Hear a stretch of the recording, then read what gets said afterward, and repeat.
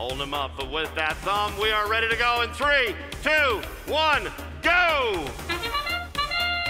Autonomous kicks off, and the first score is going to be from Chicago Knights Robotics on the Blue Alliance. They go for two points in the lower hub.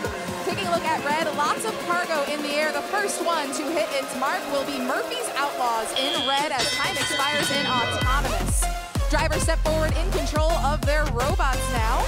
We'll take a look at who will be the first score. It looks like Winnovation is trying for the Red Alliance.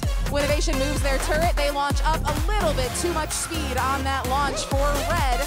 Let's see what our next attempt to score will be. Monty Pythons in red bumpers attempt to approach a piece of cargo on the playing field floor.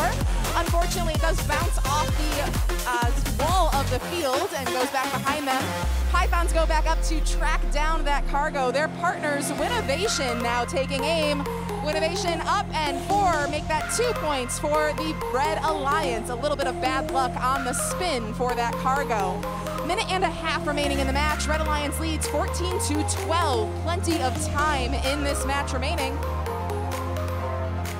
Cyberdogs in blue, they have got one piece of cargo. Their partners, Chicago Knights, have two. Knights will approach the hub first. There is some cargo in their way. They are able to overcome that distance and score two more points for the Blue Alliance. Launches go up from Winnovation, both of them bouncing off the top of the hub, so they're going to track down that cargo and try again.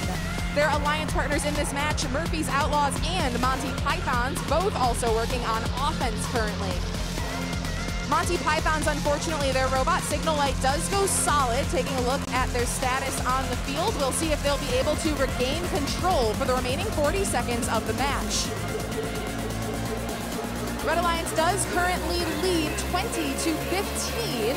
Chicago Knights Robotics tracking down some cargo from the floor. They're going to go for one more point on that lower hub. 30 seconds remaining in the match.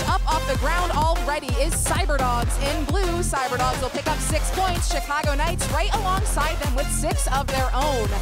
Winnovation, though, they are looking to climb even higher. Winnovation on the high rung. It looks like that might be where they stay, but Winnovation extends another manipulator forward. They are trying to traverse, but with five seconds left, we'll keep an eye on that red robot. Winnovation staying put. We've got maybe two robots up off the ground for the Blue Alliance. Seven, the winner is the Red Alliance. A score of 31 to 21 for Red.